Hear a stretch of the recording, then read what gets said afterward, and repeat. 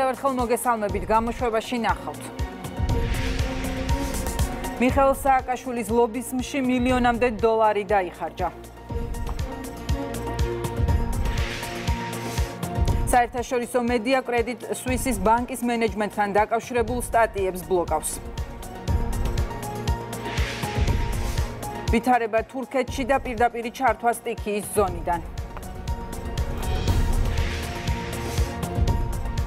ამერიკის იუსტიციის დეპარტამენტის ვებგვერდზე გამოქვეყნებული ინფორმაციით მიხელ სააკაშვილის სახელით გიული ალასანიამ ლობისტურ კომპანიას 918000-მდე დოლარი გადაუხადა. მათ შორის 285000-მდე დოლარი სამედიცინო ექსპერტებს დასკვნების სანაცვლოდ მისცეს. იკვეთება ამერიკული კანონმდებლობის დარღვევაც 2022 წლის ივლისში გაფორმებული კონტრაქტის შესახებ. ინფორმაცია იუსტიციის დეპარტამენტში 2023 წლის 3 თებერვლამდე არ შესულა. ვადაკი 10 დღეა. დამატებით ინფორმაცია ვრცელდება შეხვედრების შესახებ. ლობისტებს 2022 წლის ოქტომბრიდან კომუნიკაცია ჰქონდათ თბილისში ამერიკის საელჩოს თანამშრომლებთან სენატორ შაჰინის ოფისთან და ადამიანთა უფლებების და დემოკრატიის საკითხებში სახელმწიფო მდივნის აპარატის წარმომადგენლებთან. თემაზე მეგი ნარსავიძე მუშაობს მეგი რა განმარტებებს აკეთებს გიული ალასანია გიული ალასანიას აღიზიანებს კითხვები ამერიკის იუსტიციის დეპარტამენტის მიერ გამოქვეყნებულ ინფორმაციასთან დაკავშირებით. ის კითხვებს პასუხს არცემს და ამბობს რომ ჩვენთან საუბარი არ სურს. რაც შეეხება ამერიკის იუსტიციის დეპარტამენტის მიერ გამოქვეყნებულ ინფორმაციას ირკვევა რომ კომპანიისთვის კონკრეტული კომპანიისთვის გიული ალასანიას გადახდილი აქვს თითქმის მილიონამდე დოლარი ლობისტური საქმიანობისთვის რომელსაც სხვადასხვა მიმართულებით უნდა ემუშავა. მათ შორის საერთაშორისო მედიაში უნდა გამოქვეყნებული იყო პუბლიკაციები იმასთან დაკავშირებით ვფიქრობთ, რომ მიხელ სააკაშვილის მდგომარეობა თითქოს არის მძიმე, გარდა ამისა, ასევე არის დოკუმენტებში მასალა იმასთან დაკავშირებით, რომ 357000 დოლარი არის დახარჯული ექიმებისთვის, ექსპერტებისთვის, სამედიცინო დასკვნების სანაცვლოდ, მათ შორის ერთ-ერთი აქ წერია სახელებით და გვარებით კონკრეტული ექსპერტების თუ ექიმების, ერთ-ერთი არის ერიკ გოლდსმიტი, რომელმაც 75000 დოლარზე მეტი აიღო ეს ამ დოკუმენტაციაში წერია, ახლა შეგვიძლია მოვისმინოთ თუ რა პასუხები აქვს ამ თანხების მობილიზაციაზე მობილიზებასთან დაკავშირებულ კითხვებზე გიული ალასანიას. არ არის მილიონამდე არაფერი არ არის გადახდილი. მე არ ვიცი, ეს ვისი გამოქვეყნებული არ ვიცი და საერთოდ მე არ ვიცი რა გინდათ. ამერიკის იუსტიციის დეპარტამენტმა გამოაქვეყნა. არა, რა სულ რა გინდათ საერთოდ. ყველგან არის ძალიან კანონიერად და მე არ ვაპირებ თქვენთან. პირადად ლაპარაკს. ის რაზეც გიული ალასანია არ საუბრობს საერთაშორისო მედიის ყურადღებას იქცევს როიტერს როიტერი წერს მიხელ სააკაშვილის საკითხთან დაკავშირებით ლობისტურ საქმიანობაზე მათ შორის ის წერს იმაზეც თუ რა იყო მიხელ სააკაშვილის უცხოელი ადვოკატის ანაზღაურება აკერმანის განცხადებაში ნათქვამია, რომ დიანჯელო თავისი სამუშაოს შესრულებისთვის საათობრივი ანაზღაურების სახით 850 დოლარს იღებდა. მან საკუთარ ანაზღაურებასთან დაკავშირებით როიტერთან საუბარზე უარი განაცხადა. ამ საკითხს უკვე მოყვა პოლიტიკური შეფასებებიც. უმრავლესობის წევრები ამბობენ რომ ყალბი ინფორმაციის გავრცელებისთვის იხარჯებოდა აღნიშნული თანხები რომლებსაც მიხელ სააკაშვილის ოჯახი უხდიდა კონკრეტულ ლობისტებს. ნაციონალურ მოძრაობაში კი ამ საკითხმა შეიძლება ითქვას რომ დაბნეულობა გამოიწვია. ისინი გვარწმუნებენ რომ კითხვებს პასუხ კითხვებზე პასუხებს მივიღებთ სწორედ ოჯახისგან თუმცა მაყურებელმა უკვე მოისმინა რომ გიული ალასანიას ამ კითხვებზე პასუხები არ აქვს დარწმუნებული ვარ, ოჯახს ექნება დეტალური განმარტება ამ საკითხთან დაკავშირებით, დარწმუნებული ვარ ამასთან დაკავშირებით. ნუ ვერ გეტყვით. ნუ ახლა იმაზე მეც მაშინ მე ვერ გეტყვით, იმიტომ რომ ამ დოკუმენტებთან შეხება მე ნამდვილად არ მქონია. ხელი ეს პერიოდი ქართული ოცნების პროპაგანდა მუშაობდა იმაზე, რომ თითქოს და მიხელ სააკაშვილმა არ ვიცი მილიარდობით ლარის ლარი და დოლარი წაიღო ამ ქვეყნიდან. დანარჩენი მე მე ამერიკის სახელმწიფო დეპარტამენტის განცხადებებში დოკუმენტებში ეჭვი რა თქმა უნდა არ მეპარება უბრალოდ არ ვიცი ეს რა დოკუმენტებია წარმოქმნილი კიდევ ერთხელ გამომშვენეს რომ სააგაშვილი და მისი ოჯახი არიან მილიონერები და არა მარტო მილიონერები ეს ერთი. და მეორე გამოჩნდა რომ ის კამპანია რომელიც უკავშირდება მიხეილ სააკაშვილის განთავისუფლებას არის თავიდან ბოლომდე პოლიტიკური მიზნებით ნაგარნახევი. არავით არის სამედიცინო არაფერია. არის ერთადერთი პოლიტიკური მიზანი განთავისუფლდეს მიხეილ სააკაშვილი იმისათვის რომ ქვეყანაში დაიწყოს არეულობა და საბოლოო მიზანი კიდევ ერთხელ ვიტყვი არის მეორე ფრონტი. რა თქმა უნდა ეს ლობისტური კონტრაქტი არის ამის კიდევ ერთი გამოხატულება, არა ერთადერთი. ეს არის დაგეგმილი კამპანიის ნაწილი, რომელიც არის კარგად ორგანიზებული და რომელშიც არის კონკრეტული თანხა გადახდილი. ეს ყველაფერი დღესდღეობით დადასტურდა ამერიკის სახელმწიფო ორგანოს მიერ, იუსტიციის დეპარტამენტის მიერ და ჩვენ ცხადად ვხედავთ, რომ მაშინ როდესაც აქ გვიყიჟინებ თითქოს მთელი მსოფლიოა შეწურწუნებული მიხელ სააკაშვილის საკითხი და ამ თემით არიან დაკავებულები, ჩვენ ვხედავთ, რომ ეს არის მარტივი დაკვეთა, რომელსაც კონკრეტულში კონკრეტული თანხაა გადახდილი და მოდით ვთქვათ, რომ ეს არის ძალიან დიდი თანხა, უკვე მილიონს აღწევს ეს თანხა და შესაბამისად იქნა ეს ყურადღება მიპყრობილი. ეს ყველაფერი არის ხელოვნურად მართული მართული კამპანია, როდესაც ქირაობენ სხვადასხვა ლობისტებს, ასევე იხდიან თანხებს ვაკეთებს იმისათვის, რომ საზღვარგარეთის პრესაში გამოქვეყნდეს ყალბ ინფორმაციაზე დაფუძნებული სტატიები ან ასე ვთქვათ манипуляციური ტიპის ინფორმაცია გაჟღერდეს. ეს ყველაფერი არის წინასწარ დაგეგმილი, კარგად მართული კომპანია, რომელსაც მოხმარდა მილიონები მილიონ დოლარამდე ლობისტური საქმიანობისთვის 357000 დოლარის დოლარი კონკრეტული ექიმებისთვის თუ ექსპერტებისთვის სამედიცინო დასკვნების სანაცვლოდ ეს არის ის თანხა, რასაც გიული ალასანი ეხიდა იმისთვის, რომ მიხელ სააკაშვილის ჯანმრთელობის მდგომარეობაზე საერთაშორისო საზოგადოებას ესაუბრა თუ გამოქვეყნებულიყო კონკრეტული სტატიები სხვადასხვა გამოცემებში. პირდაპირ ეთერში მეგი ნარსავიძე საუბრობდა.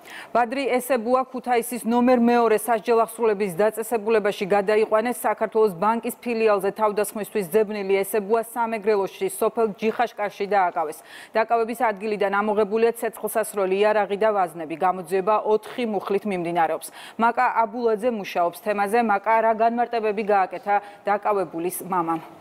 ნათია, პირველი კომენტარი მედიასთან რამდენიმე წუთის წინ გააკეთა ბადრი ესებუას. მამამ მან პირველ რიგში დაადასტურა ის ფაქტი, რომ ადამიანი, რომელთანაც ესებუა იმალებოდა, მათი ნათესავია, თუმცა მისივე განმარტებით წლებია ესებუების ოჯახს, მასთან კომუნიკაცია და კონტაქტი არ ჰქონიათ.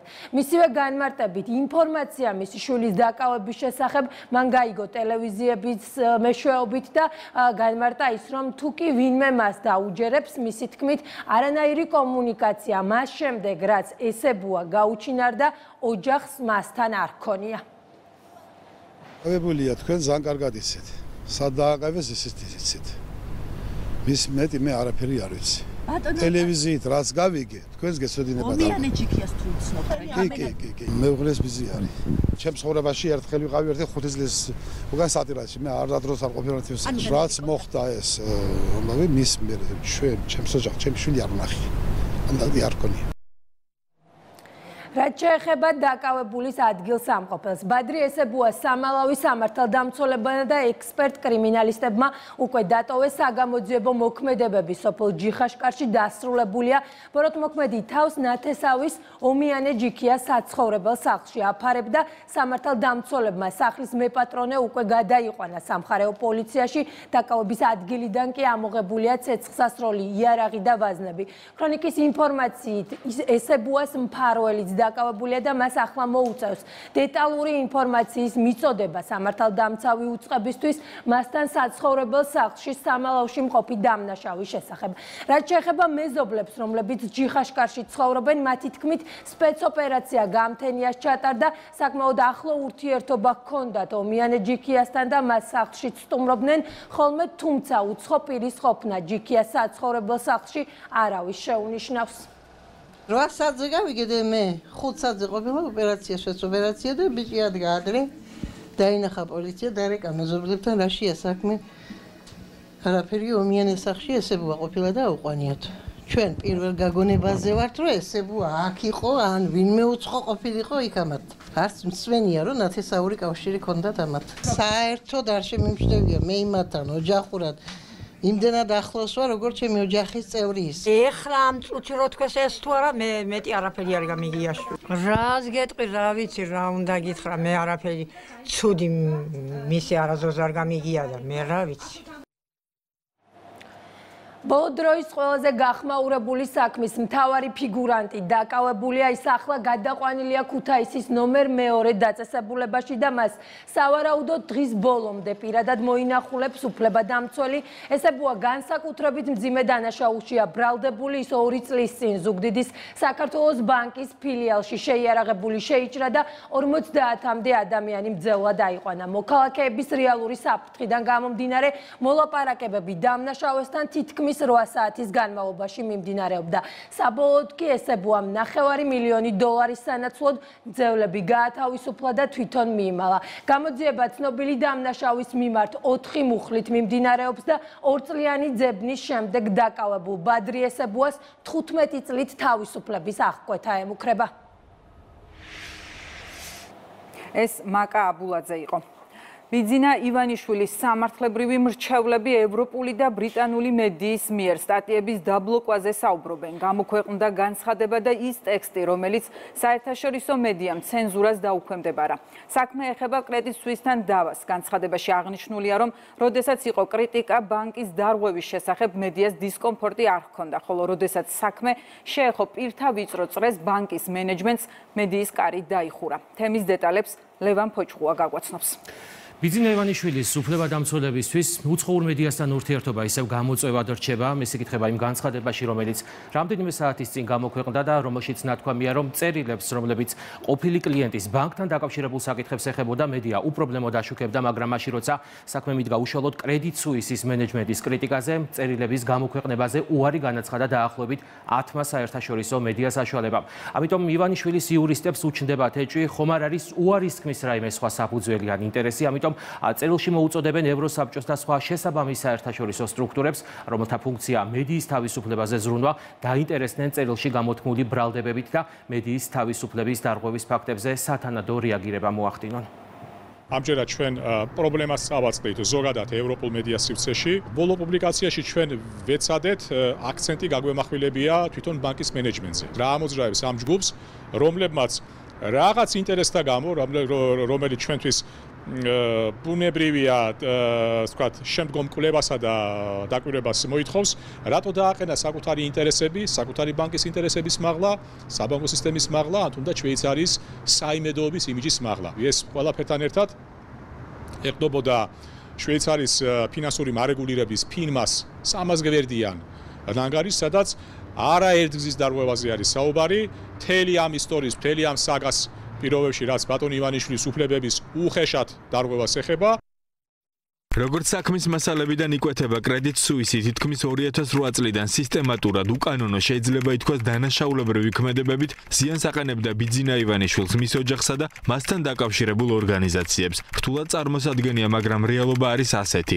წლების განმავლობაში ხდებოდა დოკუმენტებით манипуლირება, ხელმოწერების გაყალბებაც კი არაფერს ვამბობ არაავტორიზებულ უნებართო გადარიცხვებსა და მოსარჩელეებისთვის არასწორი ინფორმაციის მიწოდებაზე. ერთი სიტყვით ფურცელზე ყველაფერი იდეალურად გამოიყურებოდა დოკუმენტ დოკუმენტების მიხედვით მოსარჩელეთა თანხები დაცული იყო. მათი აქტივების მართვაც ეფექტურად ხორციელდებოდა, თუმცა მოცემულობა იყო სრულიად საწინააღმდეგო თანხები დაუცველი აქტივები კი ფაქტიურად განიავებული. განსხვავებულ და ამოუხსნელ მოვლენასთან გვაქვს საქმე კრედიტ სუისის მენეჯმენტის სახით. კრედიტ სუისის როგორც ფინანსური ინსტიტუტის შესახებ მედიით ინფორმაცია შეფერხების გარეშე ვრცელდება, მაგრამ როდესაც დღის წესრიგში დგება ინფორმაციის უფრო სწორად ფაქტების გავრცელების საკითხი მენეჯმენტის ქმედებებთან მიმართებით, მაშინვე აღიმართება ბარიერები. იბლოკება ფაქტების გავრცელება ან ხდება ფაქტების გაფილტრვა, ან ვრცელდება ფაქტების მხოლოდ ნაწილი ან ხდება ფაქტების მოდიფიცირება. შინარსის შეცვლითაც კი ფაქტიურად გამოდის, რომ ბანკის მენეჯმენტის გავლენები გარკვეული ფორმით მედიაზე სცილდება შვეიცარიის ფარგლებს და მიმართული არის, რომ მოსარჩელეებმა ვერ მოახერხონ დაინტერესებული პირებისთვის ფაქტების რეალობის გაცნობა და მათ ვერ შეძლონ ობიექტური შეფასების დასკვნის გაკეთება. ერთი სიტყვით ბანკის მენეჯმენტი ცდილობს, რომ უკანონო და ამორალური ქმედებების შესახებ ფაქტების გავრცელება მაქსიმალურად მინიმალურად შეზღუდოს. ბუნებრივია რომ ყველა იმ დავასთან დაკავშირებით რომელიც მიმდინარეობს კრედიტ სუისთან ბიძინა ივანიშვილის ადვოკატები მოქალაქეებს საქმის კურსში ჩააყენებენ. ამავე წერილში ვკითხულობთ რომ ბანკის მენეჯმენტის მიერ ამოუხსნელ მოქმედებებსა და მოვლენებზე ბიძინა ივანიშვილს განზრახული აქვს დამატებითი ინფორმაცია მიაწოდოს საზოგადოებას და ამას ეტაპობრივად გააკეთებს კიდეც. ეს ლევან ფოჭხუა იყო ვიტოვებ იმედს საქართველოს ძალისხმევა ამჯერად სათანადოდ დაფასდება და ევროკავშირი მოგვანიჭებს კანდიდატი ქვეყნის სტატუსს. შალვა პაპუაშვილმა ეს გზავნილი საპარლამენტო ტრიბუნიდან გაახმოვანა. ქვეყნის საგარეო და შიდა პოლიტიკური პრიორიტეტები, პარლამენტის ინსტიტუციური გაძლიერება, ევროპული რეკომენდაციები და ევროინტეგრაციის გზაზე გადადგმული ნაბიჯები პარლამენტის თავმჯდომარემ ყოველწლიურ მოხსენებაში 2022 წელი შეაჯამა. ქვეყნის პირველმა კანონმდებელმა დეტალურად ისაუბრა 12 პუნქტზე მის შესრულებაზე და ოპოზიციის როლზე. გზავნილებს პარლამენტიდან სოფო ბერიძე გაგვაცნობს. ნათია როგორც მოსალოდნელი იყო პირველმა კანონმდებელმა წლიური მოხსენების დროს ყველაზე ვრცლად სწორედ 12 რეკომენდაციის ირგვლივ ისაუბრა და შალვა პაპუაშვილმა თქვა რომ გასულ წელს სწორედ ბრიუსელის დავალებიდან გამომდინარე პარლამენტმა 82 კანონი მიიღო. ახლა როდესაც თებერვალში დაიწყება საქართველოს მიერ შევსებული კითხვარის შეფასება პარლამენტის თავმჯდომარე იმედოვნებს რომ ამჯერად მაინც სათანადოდ დაფასდება საქართველოს ძალისხმევა და ქვეყანა კანდიდატის სტატუსს მიიღებს რაც შეეხება ევროპული დავალების პირველ პუნქტს ანუ დეპო პოლარიზაციას. პაპუაშვილს მიაჩნია, რომ ქვეყანაში არა პოლარიზაციის, არამედ რადიკალიზაციის პრობლემაა და ამას მოწმობს დღეს პარლამენტში цаრიელი სკამები, იცით რომ ნაციონალური მოძრაობა მორიგჯერზე იმყოფება საკანონმდებლო ორგანოსთან ბოიკოტის რეჟიმში. ამიტომაც პარლამენტის თავმჯდომარე ამბობს, რომ გამოსავალი სწორედ რადიკალიზაციაზე უარის თქმაშია. 2022 წელი ისტორიული იყო საქართველოს ევროკავშირის ურთიერთობაში. მომზადა 9 ტომიანი მაღალი ხარისხის ნაშრომი, რომელიც 3600 გვერდს მოიცავდა. ჩვენ სულ რამდენიმე დღის წინ ვიხილეთ საბოლოო და სრული შეფასება ამ კითხვარის შევსებული კითხვარისა და ვნახეთ თუ რამდენად დადებითად შეაფასა ევროკავშირმა როგორც საქართველოს მიღწევები, ისე თავისთავად, რა თქმა უნდა, თავად ნაშრომი. საერთო ჯამში ევროკავშირის 12 რეკომენდაციის შესასრულებლად საქართველოს პარლამენტმა მიიღო 82 კანონი. სინამდვილეში ქართული პოლიტიკის პრობლემას არა პოლარიზაცია, არამედ რადიკალიზაცია წარმოადგენს. ეს არის ის რეალური გამოწვევა, რომელიც დღეს ჩვენ გვაქვს. პოლიტიკური ჯგუფები, რომლებიც არ აღიარებენ არჩევნებს, არ აღიარებენ დემოკრატიულ ინსტიტუტების ლეგიტიმაციას და საბოლოო ჯამში არ აღიარებენ დემოკრატიას. ამაზე ყველაზე ამის ყველაზე კარგი მკიცებულება ის цаრიელი სკამებია, რომელსაც დღეს ჩვენ, ჩვენი სტუმრები და საქართველოს საზოგადოება ამ დარბაზში ხედავს. ამ სიტუაციიდან არსებობს მხოლოდ ერთი გამოსავალი: დე-რადიკალიზაცია. თებერვალში ევროკომისია უკვე დაიწყებს ევროკავშირის რეკომენდაციების შესრულების ხრი საქართველოს პროგრესის შეფასებას. ვიტოვებ იმედს, საქართველოს ძალისხმევა ამჯერად სათანადოდ დაფასდება და ევროკავშირი მოგვანიჭებს კანდიდატი ქვეყნის სტატუსს. ანგარიში კი პარლამენტის თავმჯდომარემ დაიწყო რუსეთის მიერ უკრაინაში წარმოებულ უსამართლო ომზე საუბრი ჩალვა პაპუაშვილი ამბობს რომ ამ ომმა შეცვალა უსაფრთხოების არქიტექტურა საქართველოს კონდა მნიშვნელოვანი გამოწვევები. ერთი ეს იყო უკრაინისტვის მხარდაჭერა სოლიდარობა და მეორე საქართველოსში მშვიდობის შენარჩუნება როგორც პირველი კანონმდებელი ამბობს ქვეყანამ ამ გამოწვევას თავი წარმატებით გაართვა. შალვა პაპუაშვილმა ასევე გაიხსენა უკრაინაში ქართველი კანონმდებლების ვიზიტი და თქვა რომ რუსეთის სისასტიკე ქართველმა კანონმდებლებმა ადგილზე იხილეს. 2022 წელი საერთაშორისო დონეზე რთული წელი გახდათ. რუსეთის აგრესიამ უკრაინის წინააღმდეგ 10000ობით ადამიანის, მათ შორის ბავშვების სიცოცხლე შეიწირა. საქართველოსთვის მნიშვნელოვანი იყო როგორც ჩვენი მეგობარი სახელმწიფოს უკრაინისა და მისი მოსახლეობის ხარდაჭერა, ისე უპირველეს ყოვლისა საქართველოსში შვიდობის შენარჩუნება და კონფლიქტის შედეგად წარმოქმნილი კრიზისებისგან ჩვენი მოსახლეობის მაქსიმალური დაცვა. ფიქრობ, ამ თულ ამოცანას საქართველოს თავრობასთან ერთად საქართველოს პარლამენტმაც წარმატებით გავართვით თავი. განსაკუთრებით ემოციური იყო 2022 წლის აპრილში საპარლამენტო დელეგაციის ვიზიტი უკრაინაში. სადაც შევხვდით ჩვენს უკრაინელ კოლეგებს და ვიხილეთ რუსეთის სასტიკი ქმედებები კიევში, ბუჩასა და ირპინში. ვინ თუ არა საქართველოს იცის თავისუფლებისთვის ბრძოლის ფასი და ტკივილი. გასულ წელს საქართველოს თავრობის და მუნიციპალიტეტების ხელშეწყობით საქართველოს და უკრაინის პარლამენტის მეგობრობის ჯგუფების ორგანიზებით უმასპინძლეთ უკრაინელ ბავშვებს, რამდენი ბავშვების რამდენიმე ჯგუფს, რათა მათ შესაძლებლობა ჰქონოდათ ცირეხნით მაინც მოწყვეტოდნენ ომის სისასტიკეს, სისასტიკეს და ამ სასტიკ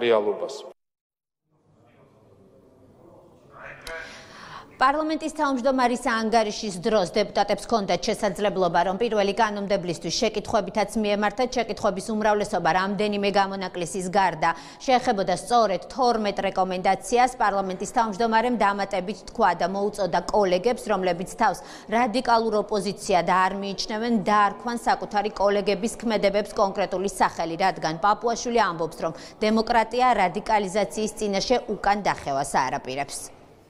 პოლარიზაციის წყარო ამ ქვეყანაში არის ორი ხო? ხართ თქვენ პერსონალურად თქვენ არა მაგრამ პარტია პოლიტიკური ორგანიზაცია ქართული ოცნება და ნაციონალური მოძრაობა. ისთვის არის ქართული ოცნება როგორც ხელისუფლება მზად რასახის კომპრომისისთვის არის მზად რომ დასრულდეს ამ ქვეყანაში პოლარიზაცია. თქვენსად ხედავთ თქვენს პასუხისმგებლობას და რესურსს იმისთვის რომ ამ დაზიანებული საპარლამენტო მუშაობის გათვალისწინებით ამ ვითარებაში სახედავთ რესურსს რომ შე შევძლოთ და შევთანხმდეთ იმაზე, რასაც აქვს მნიშვნელობა ჩვენი ევროპული მომავლისთვის. ერთადერთი გამოსავალი დერადიკალიზაციის, თუ კი თანხმდებით რომ რადიკალიზაცია არის პრობლემა, არის ის, რომ რადიკალურმა ჯგუფებმა აა ჯგუფები შეეშვან რადიკალურ დღის წესრიგს. პირველი რაც უნდა ქნას ჯგუფმა, გააკეთოს ჯგუფმა, რომელიც არ არის თავს ართვის რადიკალურად, არის აღიაროს რადიკალიზმის პრობლემა.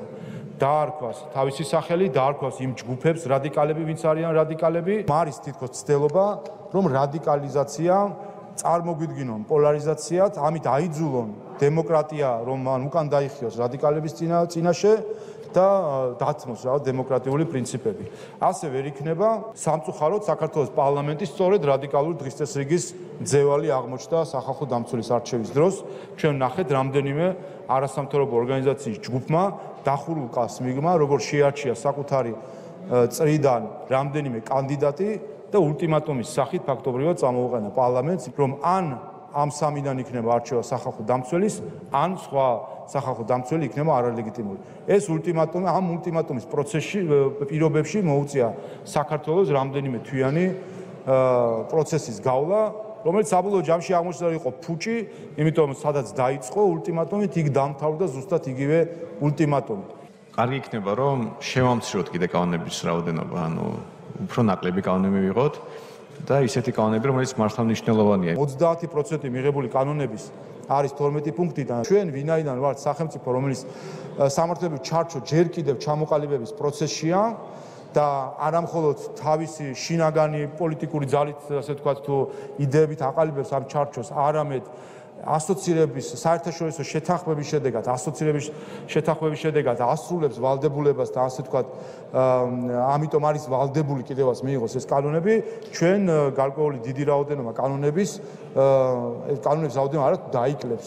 შეიძლება მოიმატოს კიდევაც. ვერაფრით ვერ მივაღწიე სამინისტროებიდან სადეპუტატო კითხვებზე დროულად პასუხის მიღებას. მე საპროცედუროსაც მიმართე ამასთან დაკავშირებით, პირადადაც ვესაუბრე. ძალიან გთხოვთ რაღაცნაირად ქმედით მექანიზმი მოვახერხოთ ისე რომ ვადაგადაცილება 200 დღიანი არ იყოს, ან საერთოდ უპასუხოდ დატოვებ. საპროცედურო კომიტეტის მეშვეობით თუ კი დროულად არ მოგდით პასუხი, შეატყობინოთ, გააფრთხილოთ, ასე ვთქვათ, პასუხის კითხვის ადრესატი. რეპრესიული ღონისძიებები ვერ გვექნება მაგრამ რაც არის ახალი ცვლილებით გათვალისწინებული, გამოიყენეთ აქტიურად, დათვალეთ სტატისტიკა, გამოიტანეთ სამსჯავროზე, სოციალური ქსელი დღეს ბევრი ინფორმაციის გავრცელება შეიძლება და ამითი გარკვეულწილად ამხილეთ ის ის ის უწყებები, რომლებიც დროულად აღწემენ პასუხს. ჩვენ გვაქვს 12 პუნქტიანი გეგმა შესასრულებელი. დეოლიგარქიზაციის შესახებ კანონპროექტთან მიმართებაში. ჩვენ ორი მოსმენით გავიტანეთ ზუსტად ის მოდელი, რომელიც ევროპიდან ერთ-ერთი მაღალჩინოსნის კი არ რამდენიმესგან მოწონებულია ზეპირ დონეზე. ეხლა მაინტერესებს ჩვენ ვაგრძელებთ თუ რას ველოდებით. იმიტომ რომ 12 პუნქტიანი გეგმა შესასრულებელი. მე მესმის რადიკალური ოპოზიციის მათ არ აწყობთ ამ კანონის მიღება, იმიტომ რომ ზუსტად იციან რომ შეეხებათ მათ დაფინანსებლებს. გვარებით ცნობილია. საქართველოს მისი სისტემა მოწყობა, სახელმწიფო მოწყობა, მისი ბიუროკრატია იმსახურებდა კანდიდატის სტატუსს და ყოველი დღე, როდესაც ჩვენ არ გვაქვს ეს კანდიდატის სტატუსი, არის უსამართლობა. დეოლიგარქიზაციას რაც შეეხება, ნახოთ დაველოდოთ კიდევ ერთხელ ვენეციის კომისია განიხილავს არამხოლოდ ჩვენ, არამედ უკრაინის და მოლდოვის პროექტებსაც, რომელიც ასევე იდენტურები არის, ანუ ფაქტობრივად იდენტურ საკითხს განიხილავს. ნახოთ რა დამოკიდებულება იქნება სამუშაო ჯგუფებში მონაწილეობა, თათფირი კონსულტაცია, თავისთავად უკვე გულისხმობს რადიკალიზმის ასე ვთქვათ, უარყოფას და სწორედ ეს არის გზა თანამშრომლობისკენ.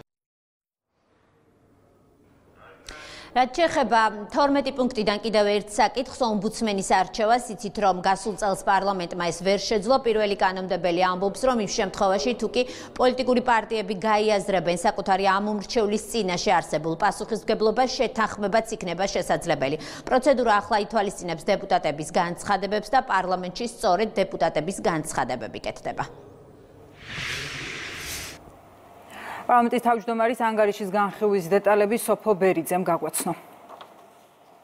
თბილისის საქალაქო სასამართლომ მიხელ სააკაშვილს სასჯელი არ გადაუადა. მოსამართლის გადაწყვეტილება შეაფასა პრეზიდენტმა. სალომე ზურაბიშვილის განცხადებით ამ გადაწყვეტილებით ქართულ ხალხს მიესაჯა შაკეტილ წრეზე ტრიალი და ამ ვითარებას ვითარების მძევლად დარჩენა. პრეზიდენტის თქმით გრძელდება ქვეყნის დისკრედიტაცია. ზურაბიშვილი ადანაშაულებს მართულ გუნდსა და ოპოზიციას წერს რომ ყველამ უნდა დაამთავროს ქვეყნის მომავლით სპეკულირება და თამაში აღიაროს პასუხისმგებლობა და შეწყვიტოს ქვეყნის სახის დაზიანება. განცხადებით განცხადებაში სალომე ზურაბიშვილმა განმარტა თუ რატომ არიწყალებს მიხეილ სააკაშვილს. პრეზიდენტისგან ხელის გამოშვერა არაფრის მომტანია თუ არა კიდევ ერთხელ საზოგადოების მოტყუების მცდელობა. ვითომ არ იცოდეს ყველამ ან ერთმა ან მეორემ რომ პრეზიდენტის შეწყალებით მიხელ სააკაშვილი ვერ გათავისუფლდება. კიდევ სამ საქმეზე არის ბრალდებული. და რაც მთავარია ვითომც ამ ხელმოწერით ქვეყანა თავის სახეს და რეპუტაციას ვერ დაიბრუნებს და ვერც გადამწყვეტ შედეგს მიაღწევს ევროპულ გზაზე. ჩვენი სახის დაბრუნებას და ნდობის აღდგენას უნდა სხვა ძალისხმევა სხვა შეგნება. ხელისუფლებისგან რომ ეს საკითხი აზიანებს ქვეყანას და უნდა მოიძებნოს სამართლებრივი და ჰუმანური გამოსავალი. ოპოზიციისგან რომ ერთხელ და სამუდამოდ სააკაშვილმა აღიაროს დანაშაული და პოლიტიკიდან წასვლის პირობით მძევლობიდან გაათავისუფლოს ქვეყანა და თვით ოპოზიცია. სალომე ზურაბიშვილის განცხადებას მოხვა პოლიტიკური შეფასებები ნინო არღულიანი გვერდდება პირდაპირ ეთერში ნინო რას პასუხობენ პრეზიდენტს მართულ გუნდსა და ოპოზიციაში ნათია პრეზიდენტის განცხადება როგორც ოპოზიციისთვის ისე მართული გუნდის წევრებისთვის არის ორაზროვანი და დაიწყოთ თავდაპირველად ოპოზიციით. ოპოზიცია ამბობს რომ საომე ზურაბიშვილს აქვს რეალური ბერკეტი სააკაშვილის გარშემო განვითარებული პროცესის შეცვალოს თუმცა პოლიტიკური გაუბედაობა მათივე შეფასებით ამ სიტუაციაში არის დანაშაული. საპარლამენტო უმრავლესობის წევრთა ნაწილი ამბობს რომ საომე ზურაბიშვილს სავარაუდოდ მიხელ სააკაშვილის შეწყალების სურვილი აქვს, თუმცა ამ ეტაპზე იმას ამის გამბედაობა არ ყოფნის მართველი გუნდის პოლიტიკური ლიდერები კი ხაზგასმით ამბობენ, რომ მიუხედავად იმისა, რომ პრეზიდენტის ბოლო განცხადებაში არა და არასდროს აღარ იკითხებოდა ზურაბიშვილის პოზიცია, რომ არ შეიწყალოს სააკაშვილი არის სწორი, რადგან მათივე თქმით საქმე გვაქვს უმძიმეს დანაშაულთან და კანონის უზენაესობა ყველასთვის მთავარი ღირებულება უნდა იყოს. მნიშვნელოვანია რომ სალმე ზურაბიშვილმა მიიღო შესაბამისი გადაწყვეტილება როგორც ჩანს მან კარგად გაიაზრა საზოგადოების განწყობა ამ თემის გარშემო.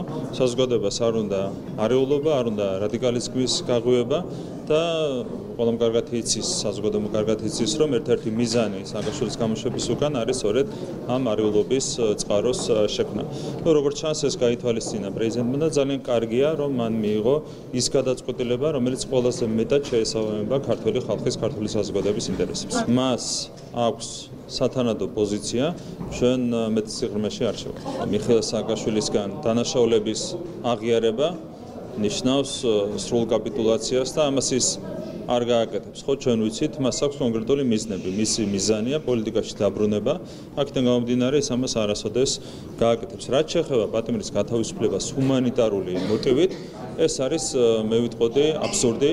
ერთი მარტივი მიზეზის გამო. თუ ჩვენ მხოლოდ ჰუმანიტარული მოტივებით ვიმოქმედებთ, ამ შემთხვევაში 9000-ზე პატიმარი უნდა გამოუშვათ გარეთ. მე ნამდვილად ვერ შევალ ვერ ვერ შევალ იმის ვარაუდში, თუ რა განზრახო აქვს პრეზიდენტს და რისთვის ემზადება ის ამ განცხადებას. ჩემი აზრით და ყველას აზრით და ეს არის საერთოდ მიღებული აზრი. საერთოდ კითხვის ნიშნის ქვეშ არ დგას ის გამომტყუნებელი გამომტყუნებელი განაჩენები, რომელიც მის წინააღმდეგ არის მიღებული და შესაბამისად ის სამართლიანად იხდის სასჯელს.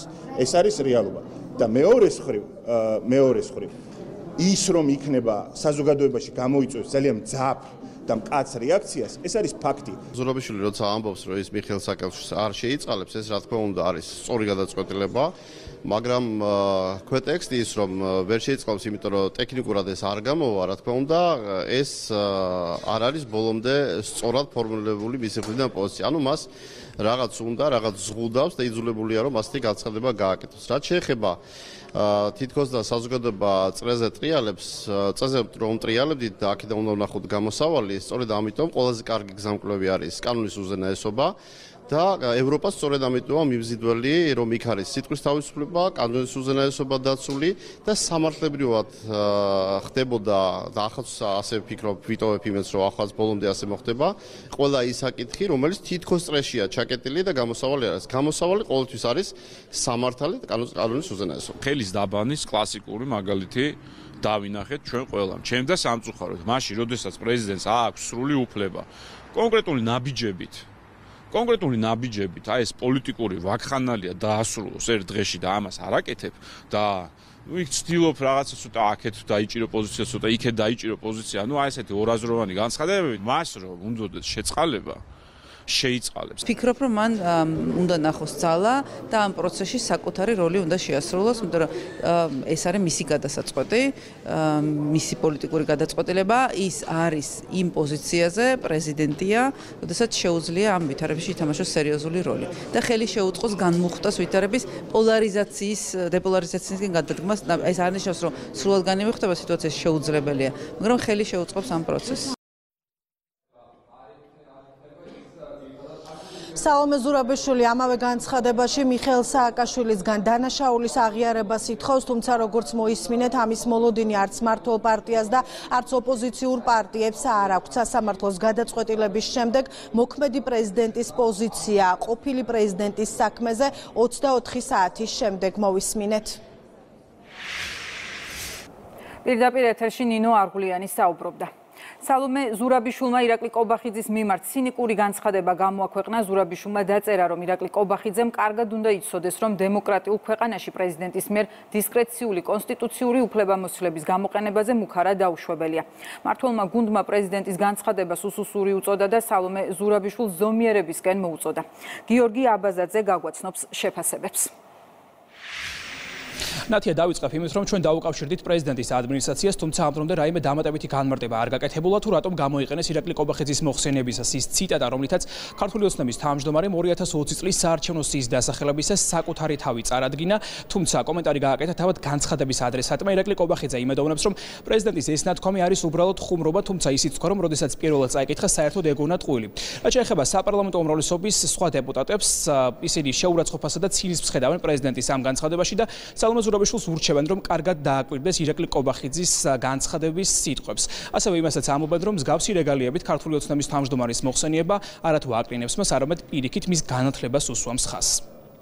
შემიძლია გავიმეორო რას თქვი ეს იყო მცირე მცირე მცირე ოხუნჯობა რაც შეიძლება პრეზიდენტს ელიზაბეთ ერთხელ ეპატიოს ანუ ზოგადად რა თქმა უნდა ხა სერიოზულად თუ შევხედავთ როდესაც პრეზიდენტი თავის ოფიციალურ საიტზე ასეთ რაღაცას დებს თავიდან ფეიკი მეგონა მართლაც არ მოუგენელი იყო ჩვენებს უთხარი რომ ალბათ ფეიკი იქნება თქო მაგრამ ნუ მე აღმოჩნდა რომ მოუნდა ასე ხუმრობა და იხუმრა რა უკრა ირაკლი კობახიძემ ბძანა და თქვა ის რასაც მთელი გუნდი ვამბობდა მთელი საზოგადოების განწყობაა პატიმარ სააკაშვილის შეწყალებას მოყვება დიახ საზოგადოებაში ძალიან დიდი ვნებათა ღელვა. თუ იაზრებს და იაზრებს როგორ ჩანს, იმიტომ რომ მის იმ არგუმენტაციაში, სადაც მოუწოდებს ყოფილ პრეზიდენტს რომ აღიაროს დანაშაული, რაც ჩაიდინა და როგორ, ეს თვითონაც იაზრებს, რომ საზოგადოების განწყობები ზუსტად ასეთი იქნება. ანუ ეთანხმება ქვეცნობიერში ბატონ კობახიძეს.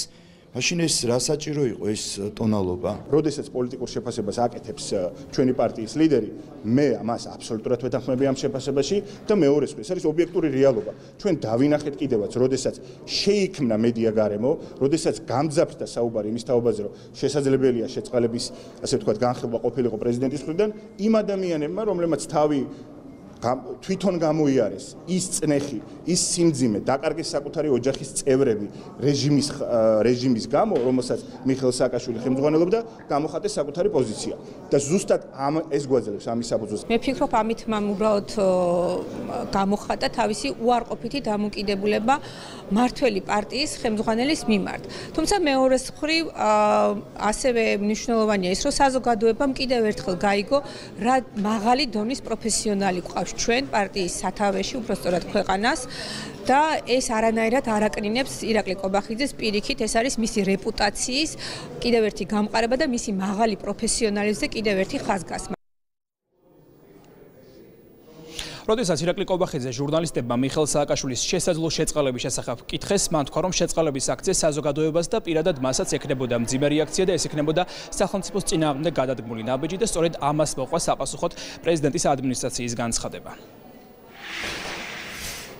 პოლიტიკური შეფასებები გიორგი აბაზაძემ გაგვაცნო. და ახლა თურქეთში არსებული ვითარება ქრონიკის გადამღები ჯგუფი იმყოფება ქალაქ ადიამანში ანუკი ჩხიკვაძე გვერდდება. პირდაპირ ეთერში ანუკი რა ხდება ამ წუთებში რა ვითარება ადგილზე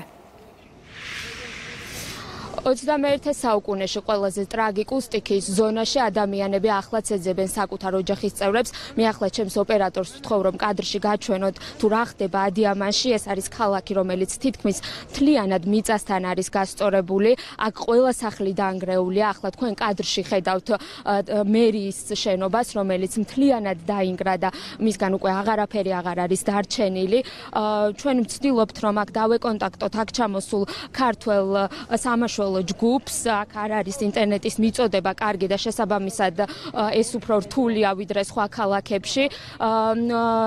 სტიკის შედეგად ადამიანები ცდილობენ იპოვონ საკუთარი ოჯახის წევრები ამ ქვის მთებად ქცეულ ნანგრევებში. თურქეთის ათასობით მოქალაქე სიცოცხლისთვის ბრძოლას აგრძელებს. პერიოდულად ისმის მათი ტირილის და თხოვნის ხმა როგორ უხმობენ თავისკენ მაშველებს და ამოყვანას თხოვენ. ბოლო მონაცემებით დაფიქსირებულია 5894 ადამიანის გარდაცვალება, ხოლო დაშავებულთა რიცხვი 34810-ია. თურქეთის 10 პროვინციაში ამჟამად სამაშველო სამსახურში 60200-ზე მეტი ადამიანია ჩართული და როგორც ვიცით, დღეს მათ 1500 სამხედრო მოსამსახურე დაემატება. თურქეთში უკვე იმყოფებიან მაშველები 20 ქვეყნიდან არიან ჩამოსული, როგორც ვიცი და სრულად 70 ქვეყნიდან დაემატებიან მაშველები თურქეთს, როგორც უკვე გითხარით, ქართველი მაშველები უკვე ადიამანში არიან და ისინი ატარებენ სამაშველო სამსახურში არიან აქტიურად ჩართულები, თუმცა ჩვენ ვერ მოვახერხეთ მათთან დაკავშირება და სულ რამდენიმე წუთში მათთან ვიქნებით. თითქმის ყველაფერი განადგურებულია ტერიტორიაზე, დანგრეულია სახლები, არ არის ელექტროენერგია, ითიშება ინტერნეტ ქსელები და შეზღუდულია გადაადგილება, ვინაიდან ადამიანები ცდილობენ დატოვონ ტერიტორია. ვითარება მძიმეა ათასობით ადამიანს უწევს ქუჩაში ღამის გათენება. ამიტომ მათთვის ახლა მნიშვნელოვანია ნებისმიერი სახის დახმარება მე ახლა ჩემს ოპერატორს ვთხოვ რომ გადაინაცვლოს პარალელურ ქუჩაზე სადაც არის შესაბამისი კარვები განთავსებული. ამ კარვებში ადამიანები ცდილობენ რომ გაათენონ ღამე და მიიღონ საკვები რომელსაც რომელიც სახელმწიფომ გამოყო. უნდა აღვნიშნო რომ სახელმწიფო აქტიურად ცდილობს ამ ადამიანების დახმარებას და ამ ადამიანებისთვის უსაფრთხო გარემოს შექმნას თუმცა მიწისძვრის მასშტაბები იმდენად დიდია, რომ რთულია ამ პირობებში სწრაფად მუშაობა და გადაადგილება.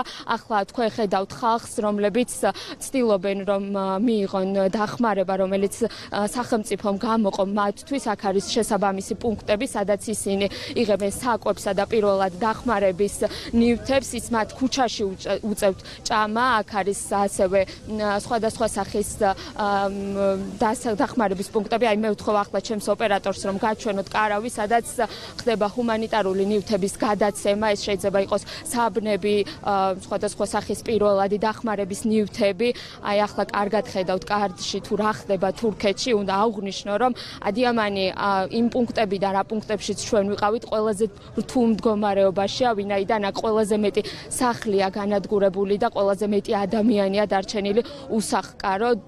ისინი საკუთარ ახლობებს ეძებენ და ცდილობენ გაიგონ რაიმე სახის ინფორმაცია, თუმცა როგორც იცით, ამ კუთხით ძალიან რთულია, ვინაიდან ინტერნეტ კავშირია გაწყვეტილია და შესაბამისად ყველანაირი დაკავშირება ამ შემთხვევაში რთულია. რაც შეეხება ჰუმანიტარულ დახმარებას, ჰუმანიტარული ტვირთი უკვე იგზავნება მსოფლიოს არაერთი ქვეყნიდან, სამწუხაროდ სტიქიური უბედურების ზონაში პირველადი საჭიროების მიწოდება არ არის მარტივი და შესაბამისად ამას დრო სჭირდება, ვინაიდან მიწის რომ დააზიანა საგზა სარეზაო მონაკვეთები, ჩახერგილია გზები და შესაბამისად გადაადგილება არის რთული ჩვენ ამ ლოკაციამდე მოსასვლელად არაერთი ასეთი გზა გამოვიარეთ, რაც ძალიან საშიში იყო და ვცდილობდით მაქსიმალურად დაგვეცა უსაფრთხოების ზომები. ადამიანები მოდიან ჩვენთან და გვთხოვენ რომ მივაწოდოთ რაიმე სახის ინფორმაცია თუ ელოდებიან თუ არა კიდე მიწის ძრას და გვთხოვენ დახმარებას. წუხელ ცნობილი გახდა რომ გერმანიის უდიდესმა მობილურმა ოპერატორმა Deutsche Telekom-მა მიიღო გადაწყვეტილება რომ ყველა ზარი თურქეთიდან გერმანიაში ან პირიქით 15 თებერვლის ჩათვლით იქნება უფასო კომპანიას სურს ასე დაეხმაროს ტიქით დაზარალებულ ადამიანებს და მათ ახლობლებს კონდეთ კონტაქტი რადგან მსოფლიოში ყველაზე დიდი თურქული დიასპორა სწორედ გერმანიაში არის და ანალოგიური იქნება სირიის მიმართულებითაც სირიის შემთხვევაშიც.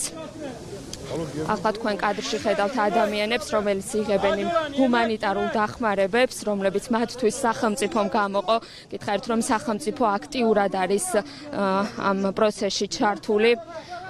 შეგახსენებთ, რომ თურქეთში კიდევ ერთი მიწისძვრა მოხდა.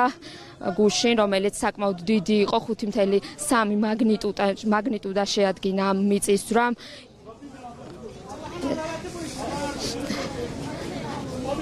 ეს მოხდა ქალაქ კაჰრამან რაშიდან 63 კილომეტრში, სადაც ჩვენ გუშინ ვიმყოფებოდით და შემოგთავაზეთ კადრები თუ რა ხდებოდა ამ ქალაქში.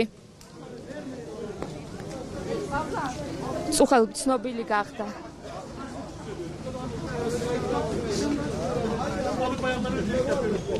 ჩვენ ვცდილობთ გავესაუბროთ ადგილობრივებს, მათ აშინებთ ის მოყოლილი ბიძგები, მიწის ქვეშა ბიძგები, რომლებიც აქტიურად არის მთელი დღისა და ღამის განმავლობაში, როგორც ამბობენ რეგიონში ეს ბოლო 80 80 წლის განმავლობაში მომხდარი ყველაზე ძლიერი მიწისძვრა.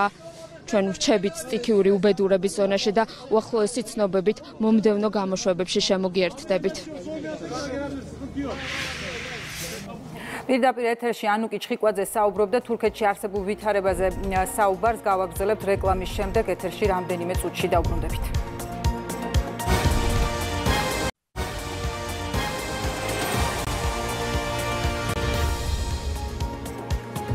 ქრონიკა ისევ ეთერშია განვაგზობთ გამოშვებას.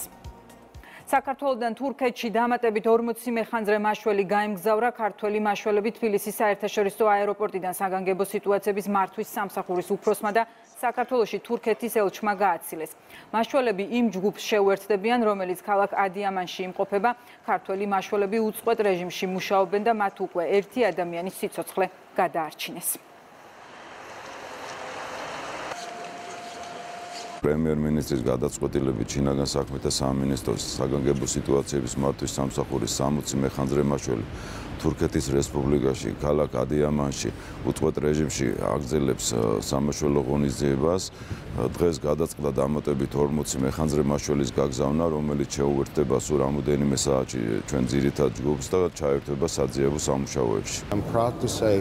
სიამაყით შემეძლია ვთქვა, რომ ჩვენი მეზობელი, ჩვენი მეგობარი და სტრატეგიული პარტნიორი მოძმე საქართველო ერთ-ერთი პირველი სახელმწიფოა, რომელმაც დახმარების შესახებ ჩვენს მოთხოვნაზე მყის რამდენიმე საათში საქართველოს მოახდინა სამძებრო სამაშველო ექსპერტების ჯგუფის მობილიზება. როგორც ვიცი, მათ უკვე გადაარჩინეს 21 წლის ქალი. მათი ადგილზე ყოფნა მოსახლეობისთვის იმედის ნაპერწკალია. თურქეთში საქართველოს ელჩის ინფორმაციით საქართველოს 6 მოქალაქიდან 4 იპოვეს, ორ მათგანს კი რომლებიც ნანგრევებში არიან მოყოლილი ამ დრომდე ეძებენ. სამუშაოები გრძელდება. გიორგი ჯანჯღავას განცხადებით, ჯამში ნაპოვნია საქართველოს 100-ზე მეტი მოქალაქე. ამისკენ პრაქტიკულად 6 მოქალაქის ძიება იყო ძიების პროცესი იყო საერთო არის 20 საათიან რეჟიმში. საბედნიეროდ 4 ვიპოვეთ. ჩვენი მოქალაქის მდგომარეობა გადაყვანილები არიან დაცულ სივრცეში. ჩამთელად არიან კარგად. უბრალოდ ერთი მომენტია სამწუხაროების ფაქტი რომ ის ორი ორი მოქალაქე ჩვენი რომელიც მოყოლილია ნანგრევებში ჯერჯერობით ვერ ვიპოვეთ. სტატისტიკა ესეთია, 100-ზე მეტი ნაკოვნი, ორი გარდაცვლილი და ორი დაკარგულია. თურქეთსა და სირიაში გადაჩენილთა პოვნის შანსები ყოველ საათში მცირდება დღესაც იყო განმეორებითი მიწისქვეშა ბიძგები რაც ვითარებას კიდევ უფრო ართულებს. სამძებრო სამაშველო სამუშაოები მესამე დღეა მიმდინარეობს. ბოლო მონაცემებით თურქეთში დაღუპულთა რაოდენობა 7000 აღწევს სირიაში. კი 2500-ს გადააჭარბა ელბისთანის რაიონში მაშველებმა ორი თვის ბავშვი გადაარჩინეს. მან ანგრევებში 48 საათი გაატარა. ორი წლის ბიჭი კი მიწისძვრიდან 43 საათის შემდეგ იპოვეს. 36 საათიანი ძებნის შემდეგ ადიამანში მდებარე ერთ-ერთი საცხოვრებელი სახლის ნანგრევებიდან სულ რამდენიმე თვის ბავშვი ამოიყვანეს. სირიელმა მაშველებმა კი ნანგრევებში ახალ შობილიც იპოვეს და გადაარჩინეს. ძლიერი მიწისძვრიდან, რომელსაც თურქეთსა და სირიაში მასშტაბური ნგრევა მოჰყვა უკვე 58 საათი გავიდა. ყოველ საათში იკლებს გადარჩენილთა პოვნის შანსი. მსხვერპლისა და დაშავებულთა რაოდენობაც მუდმივად იზრდება. დაღუპულთა საერთო რაოდენობა ორივე ქვეყანაში 9000-ს აღემატება. აქედან თურქეთში დაიღუპა 7000-მდე მოქალაქე, სირიაში კი 2500-ზე მეტი. ორივე ქვეყანაში არსებული მძიმე ვითარება ახლა საერთაშორისო საზოგადოების ყურადღების ცენტრშია. We've seen საშინელ კადრებს ხედავთ თურქეთსა და სირიაში. ნახეთ დაანგრეული შენობები, ნანგრევებიდან ამოყვანილი ბავშვები. მადლობა ღმერთს, რომ კიდევ ცოცხალი ადამიანები ამოხავთ ნანგრევებიდან. თურქეთში 150 მაშველი გავგზავნეთ ასევე ამერიკული ვერტფრენებიც. სირიაში გვყავს ჩვენს მიერ დაფინანსებული ჰუმანიტარული პარტნიორები, რომლებიც კოორდინირებულად უწევენ დახმარებას სტიქით დაზარალებულ მოსახლეობას. თურქეთს მსოფლიოს 70 ქვეყანა ეხმარება წუხელ გერმანელი მაშველების დახმარებით ჰათაის პროვინციის ერთ-ერთ უბანში 66 წლის ქალი გადაარჩინეს. ეს ქალი ძალიან ღრმად იყო ნანგრევებში ჩაფლული, უკიდურესად საშიში მდგომარეობა იყო. ქალს მაცივარი ბლოკავდა და მასთან მიღწევა რთული იყო. 2 საათი მხოლოდ ამ მაცივრის გადაადგილებას მოვანდომეთ. ძიმე ტექნიკას ვერ გამოვიყენებდით, რადგან მთელი შენობა მასზე ჩამოიშლებოდა. ამიტომ თითოეული ქვა ხელით გადავზიდეთ.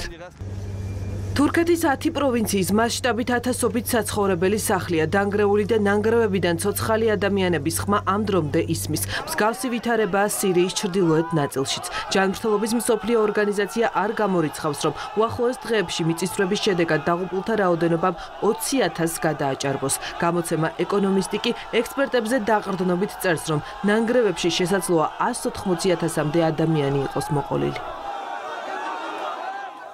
თურქეთში მიწისძვრის შედეგად დაღუპულთა ხსოვნას პატივი მიაგეს ქართული ოცნების ახალგაზრდული ორგანიზაციის წევრებმა. ისინი თურქეთის საელჩოსთან იმყოფებოდნენ, შეხვდნენ ელჩსაც და პირადად მიუსამძიმრეს.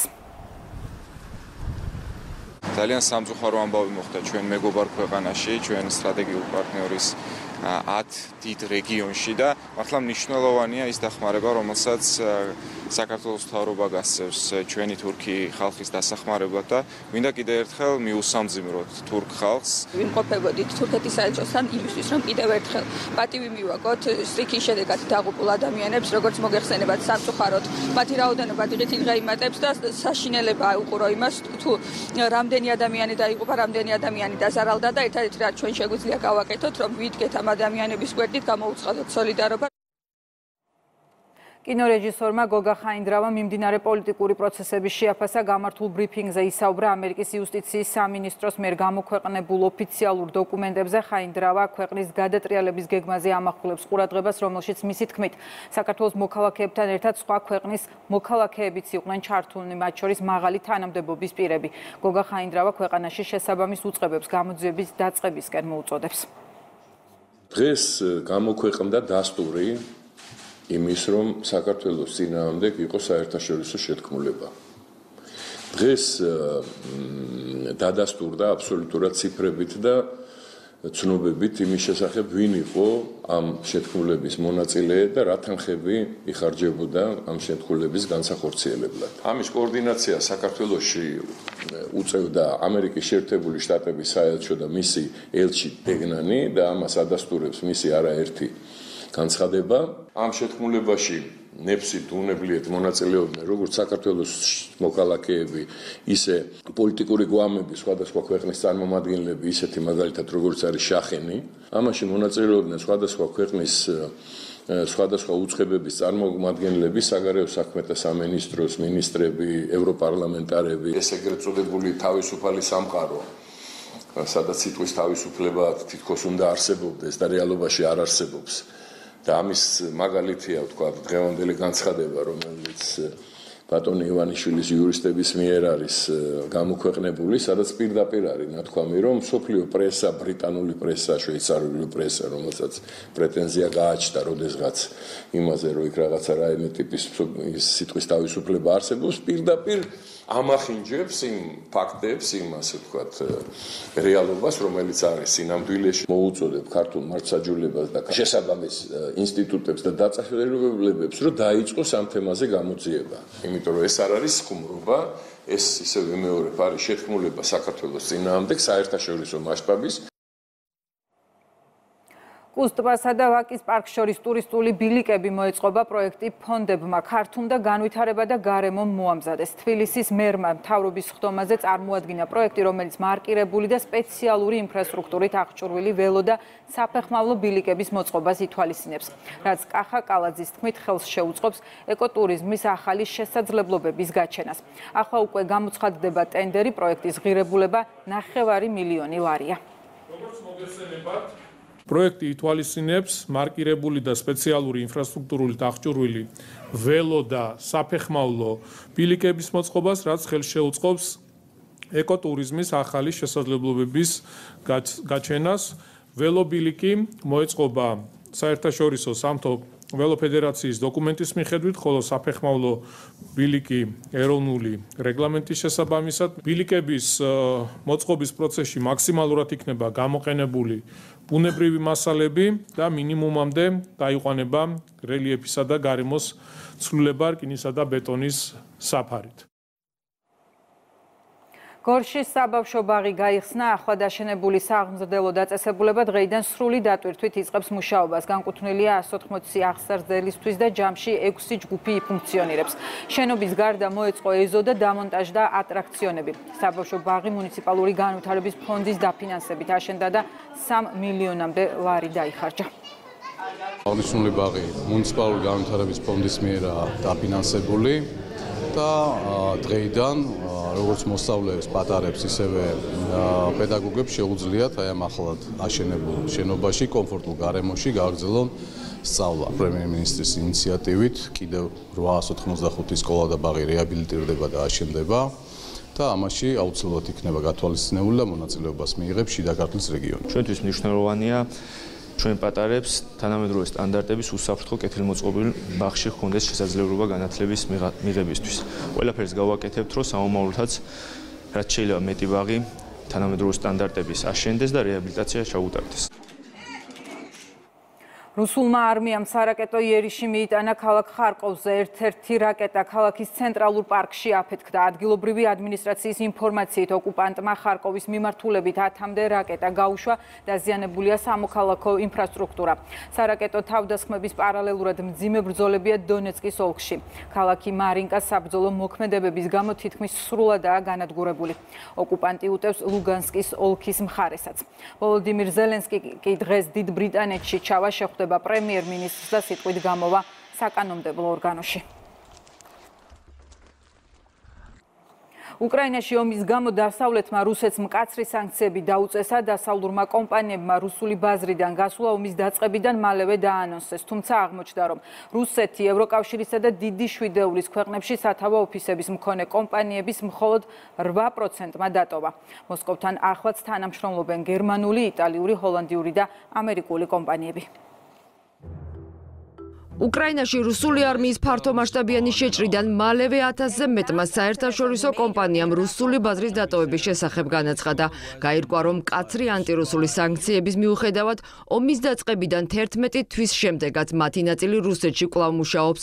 სანტ-გალერის უნივერსიტეტში ჩატარებულმა კვლევამ ცხადყო, რომ რუსული ბაზარი ევროპული კომპანიების მხოლოდ 8%-მა დატოვა.